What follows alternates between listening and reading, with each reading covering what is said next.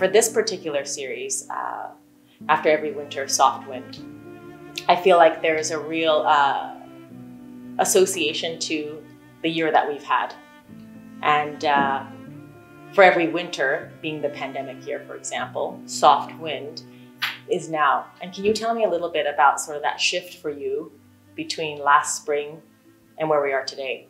So this time last year, it, actually right about this time, I spent most of my time outside, not in the studio. Mm. I was um, building a new vegetable garden. It really felt like a moment of arrested time. Let's just sort, sort of slow down and think about what's happening. Why, why is this pande pandemic happening?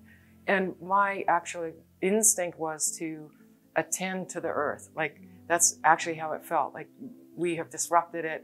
H how do I tend to the earth? And it was just by paying attention, paying close attention, you know, being um, aware of it, the earth's generosity, what it gives us all of the time. So then from that, like, you know, I mean, that was kind of like the whole part of March and of April, then going back, eventually felt drawn back into the studio.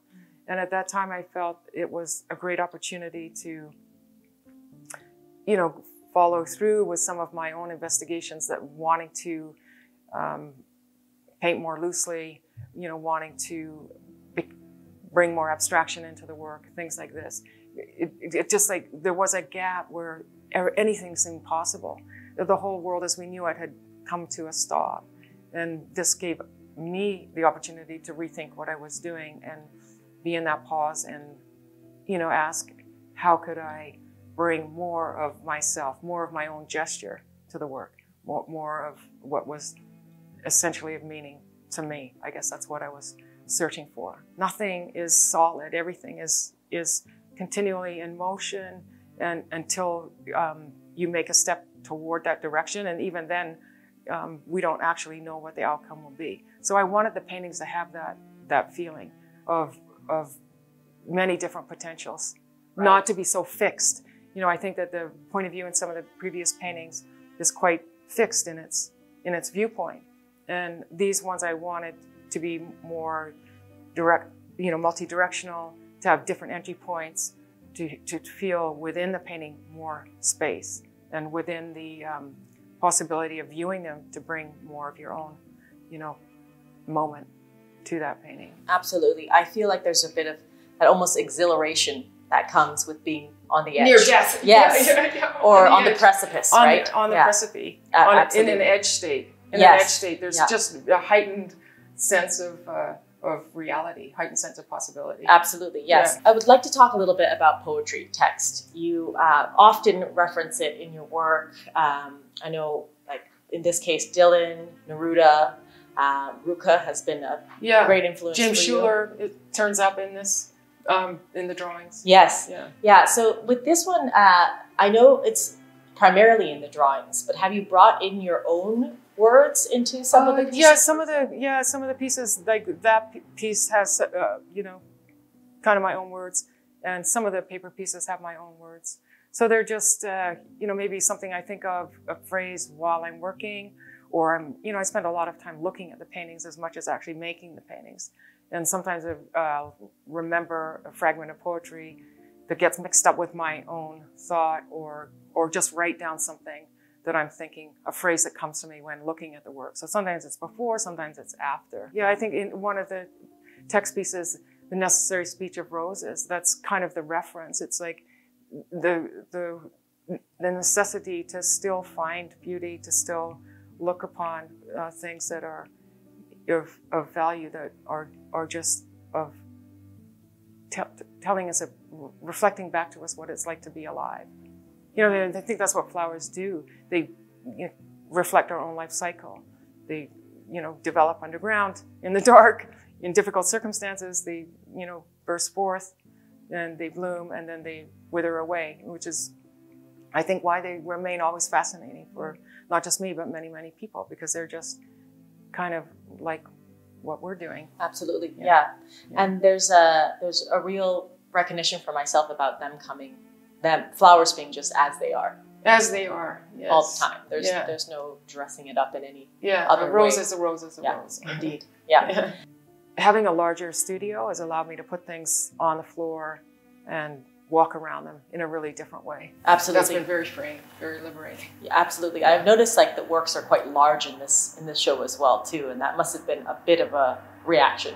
Yeah, well. and the funny thing was, I remember um, feeling at the beginning I wouldn't do big works because it felt like, um, you know, it just felt like it's kind of slower, smaller time. Mm. And then it, it just didn't happen that way. I just felt really moved to tear off big pieces of canvas from a roll and just work go at it. Go at it. Yeah. And that was that was really good. And liberating. Liberating. Yes, really for liberating. Sure. Fantastic. yeah. yeah.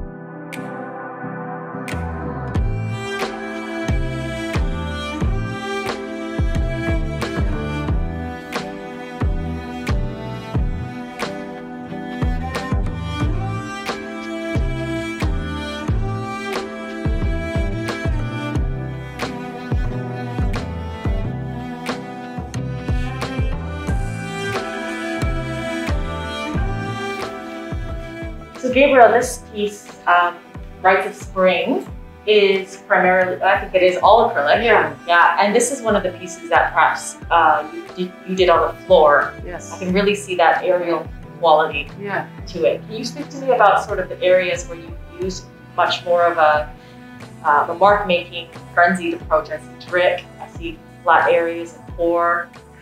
Yeah, that's, you can see all of that.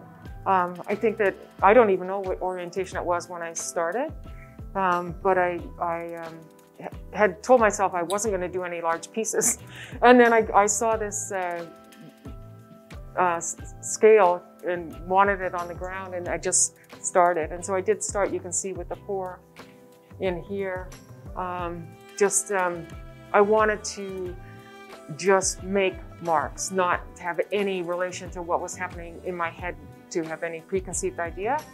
So I started with the pouring, I started with, you know, dripping, like even Pollock-like um, kind of uh, off the end of the brush.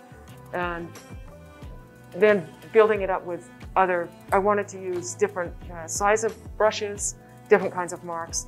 And then, you know, I, I, I couldn't leave it completely abstract. You can see that I had to get in there and do some things that are I used the shapes that were suggestive of, of uh, things that became sort of petal-like or florals. But, you know, this one, for instance, is very petal-like, but that's just a completely random pour. So then that suggested other things. And um, I just kept turning it around until it kind of naturally found its orientation. But it was um, very experimental. This is the uh, title piece to the show. Why did you choose that one? For me, this piece has kind of the whole cycle in it. It's got, you know, maybe that cooler March wind. It's got like the, the earth colors that you're mentioning, the sages and those dark, darker greens and the coolness of the, the air. Um, but it's got the, the lightness of the emerging life in, in the spring. So I think it has all of those elements of thinking of the, you know, the, the cold wind of the pandemic and the, um, you know, the spring-like growth that is still emerging and happening even in the midst of that cold, coldness. Absolutely. Darkness. This is one of the ones that has the text in it yeah. that we mentioned before. Can you tell me the text? Well, this one, this text came um, I can't remember where it came, if it was my own thought or in conjunction with something I was reading, but it's, um, even though the cloud passes over the sun, uh, doesn't mean there is no sun. So even though the title is No Sun, it's like, it's about like the whole experience of the cloud maybe passing, um, but the sun is still there, you know, so again, it's, it's referencing the title, the title piece. It's like, I think this has, uh, um, the quality of that restlessness of the turning and turning and turning into something else, like, you know, the metamorphosis of one thing into another, I think is um, strongly in this piece. Is this a handprint? Or is this just the, the no, texture it's that just the texture from different pulling layers. away? Yeah. Yeah. Oh, I think I folded the canvas over it. Yeah, I think at one point I folded the canvas over and then pulled it apart. Ah. Yeah. Do you do that normally with the work? In this show, I Okay. yeah, but not normally. Yeah. Because they were free and on the ground like a carpet, I Yes. just I felt very, uh, uh, you know, I wasn't taking it preciously. It Sure. Just like, what will happen if I do this? And, Yes. Oh, I like that mark. I do remember that. I've forgotten that. Like that. that's good. I'll go to I. I did do that. Yeah. Great.